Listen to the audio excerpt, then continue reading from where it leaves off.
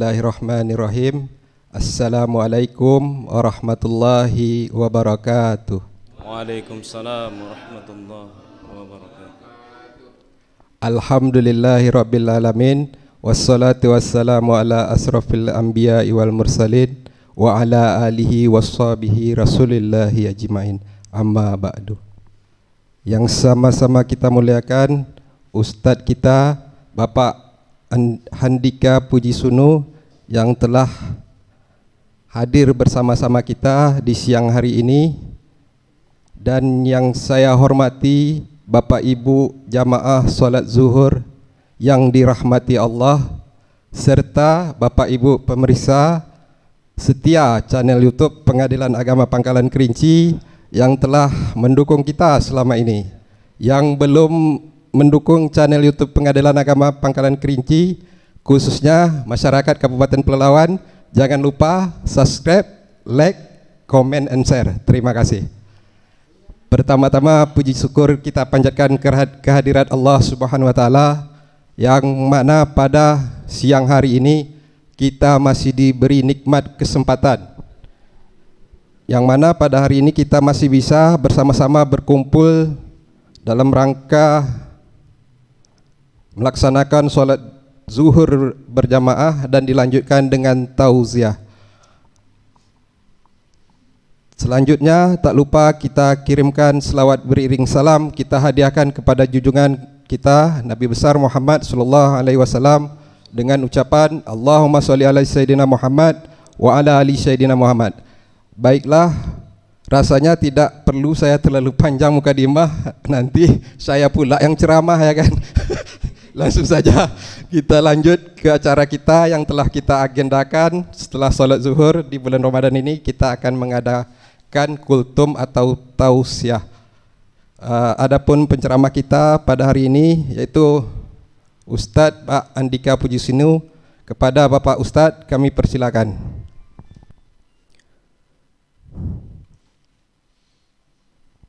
Bismillahirrahmanirrahim. Assalamualaikum warahmatullahi wabarakatuh. Waalaikumsalam warahmatullahi wabarakatuh. الحمد لله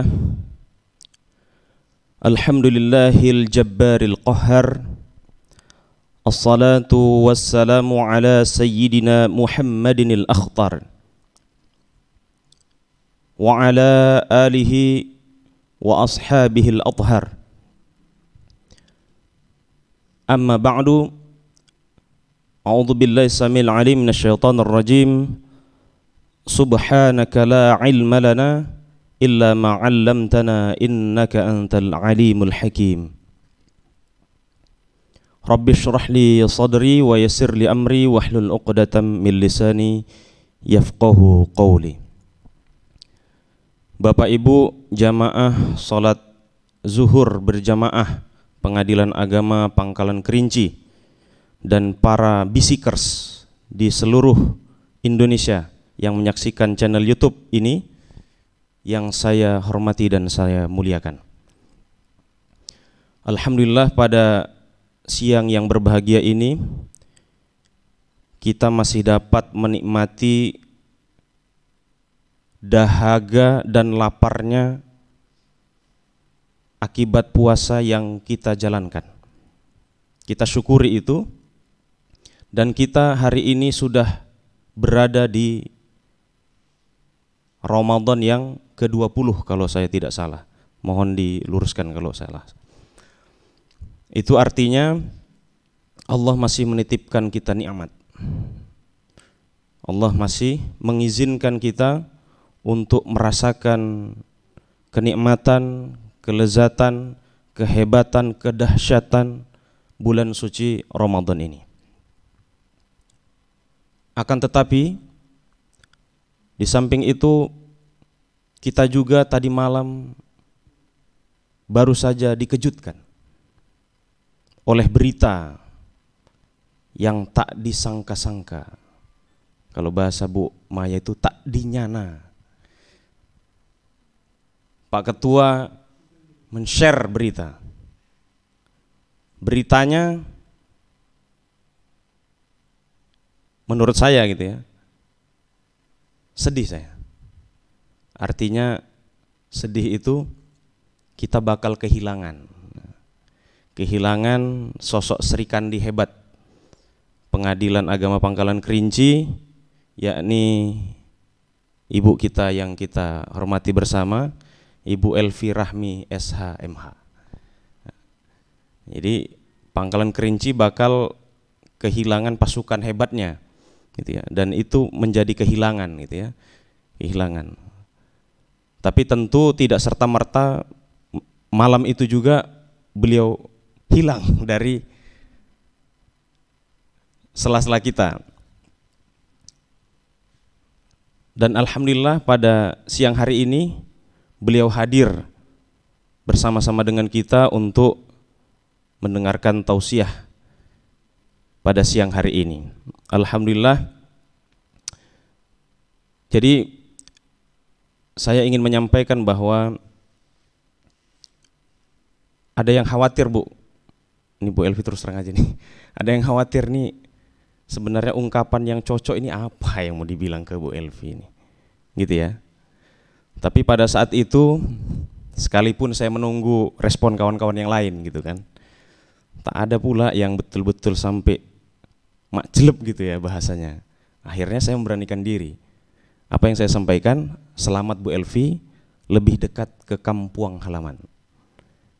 Dan tentu dengan tempat yang baru pasti akan merasakan suasana yang baru. Akan bertemu juga dengan orang-orang yang baru dan juga pastinya akan mendapat semangat yang baru. Dan kita doakan bersama mudah-mudahan apa yang sudah menjadi ketetapan di dalam keputusan hasil rapat promosi dan mutasi kesekretariatan itu kita doakan bersama mudah-mudahan Bu Elvi karirnya semakin baik, orangnya fisiknya semakin sehat, umurnya semakin panjang dan rezekinya semakin melimpah. Amin amin ya rabbal alamin. Jadi saya ingin katakan bahwa promosi dan mutasi itu pasti. Nah, itu yang paling penting. Promosi dan mutasi itu pasti. Mungkin selama ini Bu Elvi menyangka gitu ya kan. Karena sejak sepengetahuan sejak sepengetahuan saya sejak dari CPNS hingga beliau menduduki posisi Kasubag eselon 4B belum terusik oleh TPM kan gitu ya nah tapi tadi malam itu membuktikan bahwa promosi dan mutasi di tengah-tengah kita terutama di lingkungan Mahkamah Agung Republik Indonesia itu pasti jadi Bapak Ibu sekalian siap-siap. Nah, Bu Mimi, ya kan? Bu Maya. Kalau Pak Delbi udah merasakan Bu Maya ini. Bu Anat, Bu Anat dia udah merasakan juga. Bude, ha, Bude belum nih. Kalau Seri masih anak anak baru kemarin. Bude nih. Ha. Tapi ini pesan yang ingin saya sampaikan bahwa promosi dan mutasi itu pasti. Kalau saya ibaratkan, ya itu ibarat kematian juga itu promosi mutasi. Dia datangnya pasti, tapi penuh misteri. Nah, itu dia. Itu itulah promosi mutasi itu ya. Pasti tapi penuh misteri. Tak ada yang tahu itu. Nggak ada yang tahu. Nah, tentu dari promosi dan mutasi yang kita alami, kita hadapi bersama, kita jalani gitu ya. Itu semua tidak terlepas bahwa itu adalah ketetapan dari Allah Subhanahu wa taala. Kita sharing pengalaman nih Bu El. Kalau Bu Elvi ini baru mau pindah. Kalau kami udah berpindah-pindah gitu ya. Dan berkali-kali. Nah, jadi kita sharing pengalaman bahwa mutasi itu jangan disesali. Ya, ini kita share sharing perasaan dan pengalaman. Mutasi itu tidak perlu disesali. Ya, sebab apa? Ya, sebab dengan mutasi itu banyak hikmahnya. Ya. Terutama apa? Terutama banyak perjalanan gitu ya, yang kita lalui. Banyak tempat yang kita singgahi. Banyak hotel yang kita tiduri, gitu ya. Dan banyak tempat makan yang bisa kita nikmati. Nah, itu salah satu hikmahnya itu. Nah, jadi jangan disesali sekalipun gitu ya. Perpindahan itu dari Kerinci ke Talu itu kan dekat, ya kan. Nah, jadi hitungannya ya hitungan paling kira-kira berapa jam itu? Dua jam, dua jam tiga jam ya Bu El. Sekitar gitulah ya, sekitar gitu. Apalagi kepindahan ke Talu itu dekat pula ke kampung halaman. Ya, kalau istilah orang awak itu kan rancak mana gitu ya. rancak mana mantap itu kan gitu. Jadi yang perlu kami berpesan kepada Bu Elvi syukuri ya kan? Syukuri karena dengan adanya mutasi itu kita bisa mengambil hikmah. Itu tadi seperti yang saya sampaikan. Kemudian banyak juga akhirnya kita bertemu dengan orang-orang yang baru. Dengan suasana kantor yang baru. Tentu kalau orang-orang yang baru cara kita bergaul juga oh ini orangnya begini nih ah baru juga. Kalau di sini kan udah tahu luar dalamnya ya kan? Kemudian kalau di kantor yang baru tentu sudut tangga gitu ya eh, atas bawahnya tentu berbeda ruangannya juga berbeda banyak hal banyak hal pimpinannya juga berbeda-beda. Banyak hal hikmah yang bisa kita petik ketika kita mutasi itu. Jadi jangan disesali karena banyak Bapak Ibu sekalian termasuk rekan-rekan saya gitu ya yang tidak bisa menerima gitu ya baik itu ketetapan dari manusia berupa SK maupun ketetapan dari Allah berupa takdir. Banyak banyak yang nggak terima. Naudzubillahnya sampai-sampai gitu ya. Sampai-sampai kepikiran seperti yang Pak Ketua kemarin sampaikan. Penyakit jadinya. Apa penyakitnya? Ya, penyakitnya itu tadi. Tidak bisa menerima takdir Allah. Pernah kejadian Allahu yarham. Semoga Allah mengampuni, semoga Allah menyayangi beliau sudah almarhum itu pernah kejadian orang Medan yang ditugaskan ke PA Natuna. Ketika ditugaskan di SK kan, dimutasi, begitu lihat namanya ada di daftar TPM, wah terkejut beliau. Bukan hanya terkejut, tapi sampai kepikiran. Kepikiran, kebawa makannya jadi nggak selera gitu ya, hidupnya jadi gundah gulana. Akhirnya apa? Tak lama Bapak Ibu, tak lama Allah memanggil yang bersangkutan. Ya, tentu ya, kita kalaupun Allah memanggil kalau bisa agak dikasih jeda waktu lah kira-kira begitu ya. Tapi setidak-tidaknya saya ingin menyampaikan bahwa mutasi itu tidak perlu disesali, tidak perlu bersedih, hanya perlu mensyukuri bahwa itu semua adalah ketetapan dari Allah. Dan topik hari ini yang ingin saya sampaikan adalah bersabar atas ketetapan dari Allah Subhanahu wa taala. Ada tiga kesabaran terhadap ketetapan yang diberikan oleh Allah Subhanahu wa taala. Yang pertama, sabar ketika melaksanakan suatu ketaatan. Disuruh Allah apa? Puasa. Banyak juga kan? Hari paginya ikut sahur, udah sampai siang udah lapar tak sanggup nih.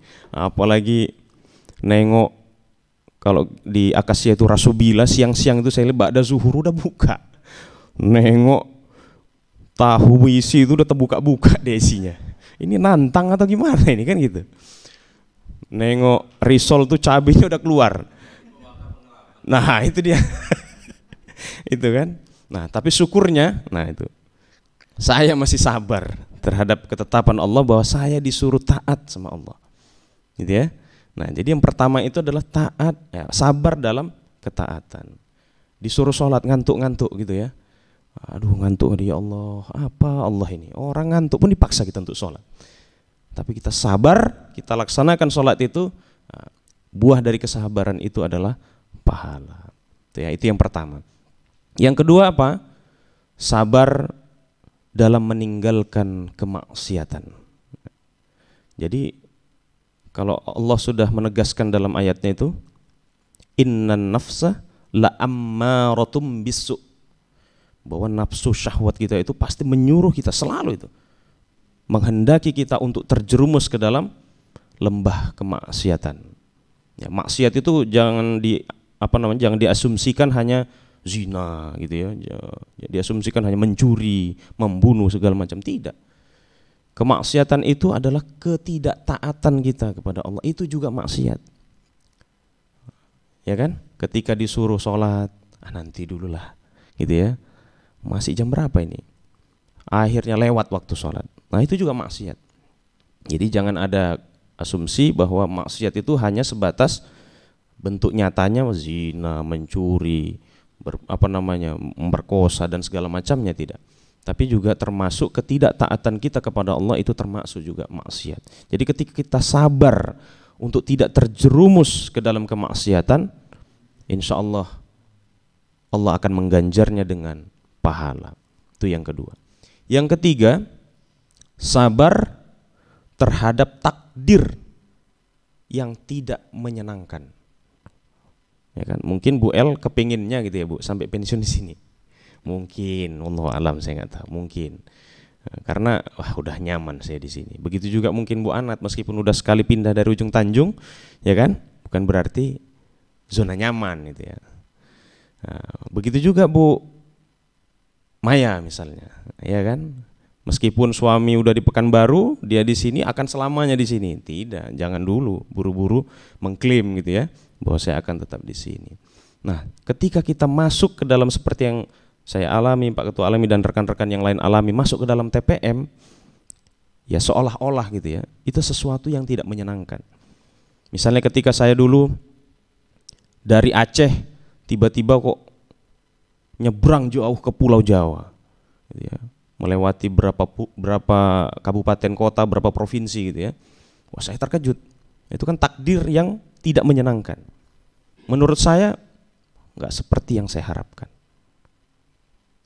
Pasti, secara manusiawi pasti Bu Elvi tadi malam nggak bisa tidur sampai jam 11 lewat masih baca WA saya, balas WA saya itu pasti ada perasaan yang gundah gulana. Ini mau gimana saya ini kan gitu. Pasti itu, itu manusiawi Bapak Ibu sekalian. Saya juga mengalami hal yang sama. Begitu juga Pak Ketua. Sudah nyaman misalnya di mentok wakil kan harusnya beliau pindah rolling aja pindah kursi ke kamar sebelah gitu ya.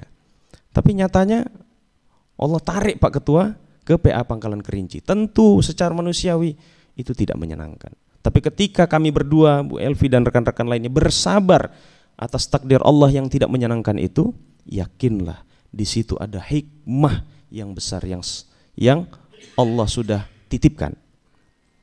Makanya di dalam surah kedua ayat 216 surah Al-Baqarah.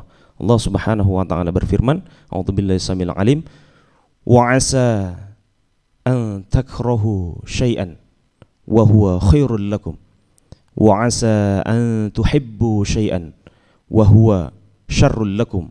Wallahu ya'lamu wa antum la ta'lamun. Artinya apa yang kamu benci kata Allah belum tentu itu baik ya belum tentu itu buruk bagimu tapi bisa jadi apa yang kamu sukai belum tentu itu yang terbaik bagimu. Nah, itu kata Allah. Dan aku yang paling tahu, bukan kamu. Jadi Allah nyuruh kita supaya udahlah nggak usah banyak protes. Ya Allah nggak adilnya kau ya Allah. Jauh-jauh udah lama aku tugas di tapal batas. Kalau saya tuh Aceh, tapal batas di ujung timur, tapal batas di ujung barat. Sikit lagi satu langkah masuk ke sumut, ke sumut. Tak masuk-masuk. Malah dicampakkan saya ke Cirebon sana. Ya, dalam benak manusiawi saya, waduh ya Allah, kok segini kali lah tugas saya ini. Sikit lagi Pak, sikit lagi. Masuk ke sumut, tak masuk-masuk juga, sampai hari ini. gitu ya. Sampai hari ini, kalau Pak Ketua udah pernah dia ke Palembang, ke Muara Dua. Kalau saya belum pernah, sekalipun beliau udah merantau juga ke mana-mana, saya belum pernah. Hanya cakim saja. Nah, tapi saya tidak pernah mengeluh, saya tidak pernah menyesali akan mutasi itu Ya, manusiawi tadi seperti yang saya sampaikan itu takdir yang tidak menyenangkan, nah, tapi saya berusaha ya Allah sabarkan diri ini. Robbi anzilni mungzalam mubaraka wa anta khairul mungzilin. Saya yakin pasti yang Allah berikan tempat untuk saya, pasti tempat itu memberikan keberkahan bagi saya. Saya yakin itu. Nah, karena saya yakin juga dengan janji Allah itu. Apa yang menurut saya saya masuk sumut, menurut saya itu yang terbaik, belum tentu apa yang ketika saya dapatkan di Cirebon itu saya dapatkan. Apa rupanya yang Pak Wakil dapatkan di Cirebon? Ya saya cerita aja nih, kita sharing aja. Tak mungkin saya bisa mewawancarai waktu itu ya waktu itu Pak Dirjen, Pak Acok. Tak mungkin saya bisa bertemu dengan hakim-hakim agung tuh face to face kecuali diklat ya dalam konteks yang lain. Tak mungkin saya bisa bertemu dengan orang-orang hebat para asisten di Mahkamah Agung. Tak mungkin saya bisa bertemu berkenalan dengan mereka. Setidak-tidaknya mereka pernah lihatlah muka saya. Tak mungkin tuh. Kalau saya misalnya masih tugas atau saya dipindahkan ke Sumut. Ya kan? Tak mungkin juga saya bisa berkenalan dengan ketua saya yang mantan asisten, wakil saya yang mantan asisten dirjen. Tak mungkin saya bisa ketemu dengan orang-orang hebat seandainya saya waktu itu hanya pindah ke Sumut. Tak mungkin. Ya, tak mungkin saya bisa ya banyak hal yang bisa yang bisa saya peroleh. Begitu juga keluarga saya dari segi aspek material dan sebagainya. Tak mungkin saya bisa dapatkan itu ketika tidak saya pindah ke Cirebon tadi. Tapi dengan saya pindah ke Cirebon, ternyata ya Allah ini rupanya hikmahnya. Ini rupanya hik hikmahnya. Jadi ternyata banyak hikmahnya. Cuman karena kita aja yang terburu-buru pengen apa sih ya Allah hikmahnya? Gitu ya. nanti nanti. Kalau sekarang dikasih dikasih informasinya nggak kurius lagi kita nggak penasaran lagi. Tapi nanti setelah kita jalani ya kan berangsur-angsur nanti kita tahu ternyata oh ini rupanya hikmahnya gitu ya. karena Allah juga menegaskan di ayat yang lain surah keempat ayat 19 An-Nisa. Allah Subhanahu wa taala berfirman, "A'udzu billahi samil alim minasyaitonir rajim." Fa in karihtumuhunna fa'asa an takrahu syai'an wa yaj'alallahu fihi khairan katsira. Artinya kalau kamu membenci Nah ini ayat ini saya ceritakan sebelumnya. Kalau ayat tadi cerita tentang perang, disuruh perang kita, diwajibkan perang. Kata orang yang disuruh itu, wah nggak enak perang itu, bunuh membunuh segala macam. Tapi karena tujuan Allah menyuruh kita berperang itu adalah tujuannya jihad visabilillah, nah, maka kata Allah, apa yang menurut kamu tak baik, menurutku itu yang baik. Apa yang menurutmu kamu tak mau pergi berperang, belum tentu itu baik menurutmu. Nah, makanya Allah turunkan ayat itu. Nah, di ayat yang kedua ini, ini cerita tentang orang-orang yang beriman yang mewarisi bagian dari perempuan dengan cara yang paksa. Ini ceritanya itu. Tapi itu cerita ayat itu kita ambil konteksnya.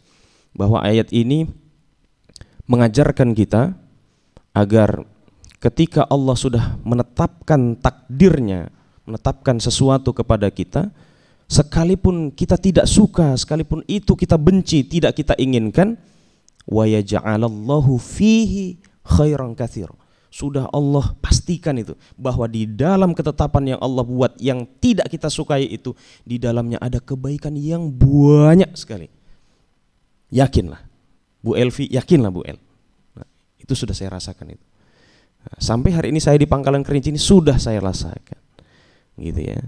Ini Pak Ses mungkin berikutnya ini akan mendapat hikmah juga nanti, ya kan? Bisa jadi nanti ditarik beliau ke PA Pekanbaru atau ke PTA dengan jabatan yang promosi. Iya. Bisa juga. Nah, termasuk pula Bapak Ibu sekalian. Nah, cerita host nih. Jadi teringat pula saya kan membahasnya. Termasuk pula kita di kantor ini, Bapak Ibu sekalian. Jadi mutasi, rotasi, promosi itu juga terjadi di dalam kantor kita ini. Ya kan? Seperti Buya Muslim lah contoh konkretnya yang baru-baru saja yang yang masih uh, hangat kita ingat dalam ingatan kita dari panmut gugatan naik ke panitra. Itu kan bentuk mutasi dan promosi ya. Promosi. Begitu juga adik-adik rekan-rekan PPNPN. Jangan dikira yang dirasakan oleh kami-kami yang pindah-pindah tugas-tugas ke berbagai tempat ini nggak dirasakan juga. Kalian rasakan cuman sekupnya lebih kecil. Misalnya Chandra dari IT dipindah jadi satpam. Itu kan bentuk rotasi gitu ya bentuk yang sama juga dialami seperti halnya yang kami alami. Cuman bentuknya skupnya kecil gitu ya, dalam lingkup internal kantor saja. Makanya kan ada promosi mutasi internal, ada yang eksternal. Nah, itu melalui baper jakat ya. Nah, ketika menghadapi itu rekan-rekan kawan-kawan PPNPN ya jangan menyes jangan disesali. Jangan apa namanya? Jangan bersedih gitu ya. Waduh, dulu enaknya aku di IT, kata Chandra kan. Sekarang di satpam panas-panasan gitu ya. Suruh sidang jaga. Nah, jangan disesali, jangan. Karena di dalam ketetapan yang dibuat oleh pimpinan dan itu harus kita anggap sebagai takdir atau ketetapan dari Allah, di sana ada banyak hikmah, di sana ada banyak kebaikan yang bisa kita ambil sebagai pelajaran. Ya setidak-tidaknya kita punya pengalaman. Kalau yang biasa di IT misalnya Chandra kan, begitu di satpam, oh ini rupanya kerjanya satpam itu. Misalnya Nopri misalnya selama ini mungkin di bagian kepegawaian nah, tiba-tiba disuruh Pak Ses kamu bantu keuangan sama Bang Eriono. Akhirnya dia tahu. Hikmah kan Nov tahu juga tentang bagaimana pola keuangan itu. Itu kan hikmah artinya ilmu. Nah jadi jangan dianggap itu apa demosi gitu ya. Itu dianggap sanksi. Ya, jangan sekalipun itu sanksi tetap hadapi itu dengan se senyuman hadapi itu dengan senyuman karena kenapa seperti itu saya sampaikan karena sebenarnya Bapak Ibu sekalian, ketika Allah memberikan ya, rasa manis, sebenarnya Allah mengajarkan kita untuk rasa syukur. Allah memberi kita rasa manis. Ya hidup ini sepertinya manis saja gitu. Ya. Padahal sebenarnya Allah menyuruh kita untuk bersyukur. Ketika Allah memberikan rasa pahit, pahitnya hidup ini, susahnya hidup ini. Sebenarnya Allah sedang mengajarkan rasa sabar. Apalagi ketika Allah memberikan kepada kita rasa kecewa, sebenarnya Allah sedang mengajarkan kita rasa tawakal. Hanya kepada Allah lah bertawakal supaya kita ini nggak kecewa. Nah, makanya kalau soal promosi dan mutasi, pokoknya doanya Robbi angzilni muzala mubaraka wa anta muzilin. Saya pasrahkan kepada Allah. Termasuk saya, termasuk Pak Ketua di mana pun kami berada, kami pasrahkan kepada Allah. Begitu juga para hakim, Pak Delbi. Nah, Pak Delbi ini mantap dia dari Natuna ke sini dekat dia kan.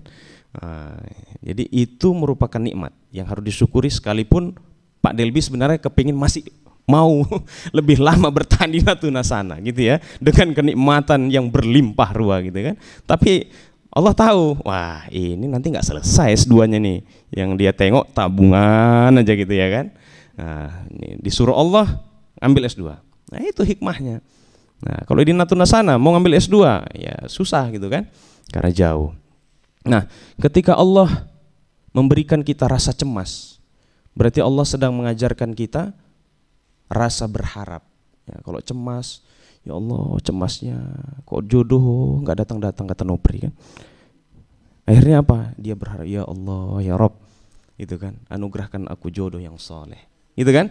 Yang bisa menggantikan suamiku yang dahulu. Amin. Diaminkan Nov nah kan gitu.